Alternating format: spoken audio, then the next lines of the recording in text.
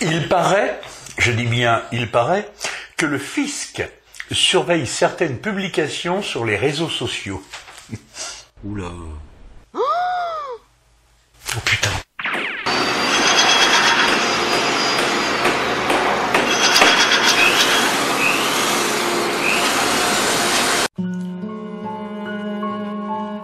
Euh, Moi je m'en fous, je suis pas concerné du tout alors. Hein le, magazine, Ah non, on, me l'a prêté. Euh, puis je sais même pas lire.